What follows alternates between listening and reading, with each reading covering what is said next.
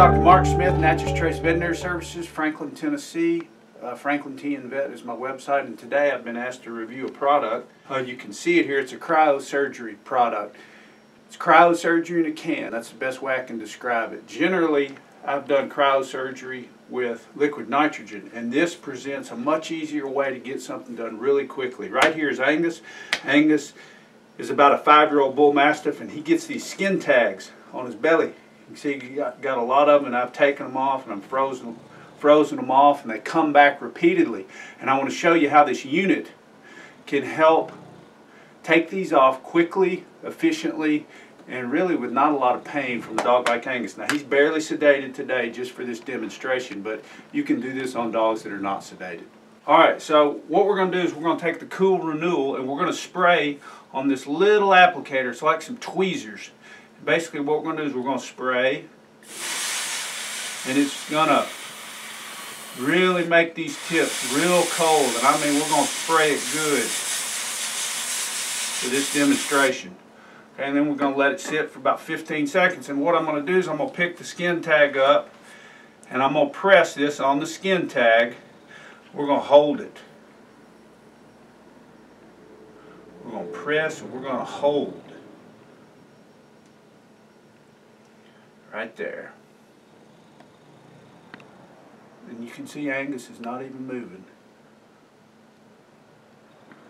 We're going to hold it for 40 seconds. In the There's a small guide that comes that kind of tells you how, how long to hold the, the tweezers or whatever instrument you use to move, remove a skin tag or a mole or a wart or whatever. I just kind of hold it on there till it freezes it. Then you can see right here on the edge how that tissue is kind of dead and kind of frozen up. So right here I missed a little area. I'm going to do it again.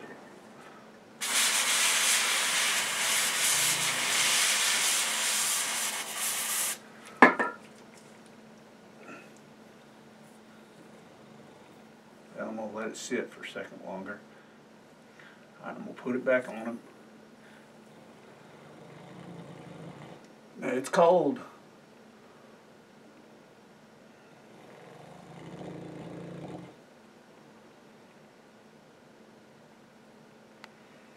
Move it around a little bit. See, he's got all these little skin tags on him that we can take off. It'll take a little bit more time, but just for this video purposes, I wanted to show you on this big one. This is usually what people come in about. Typically these big dogs get them on their chest from laying too long in that one area.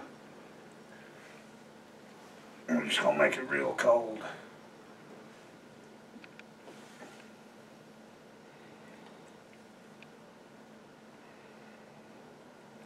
Alright, that shows our end result and what will happen is this thing will slough off probably within a week. It'll just fall off and the cat will come pick it up and take it off and play with it.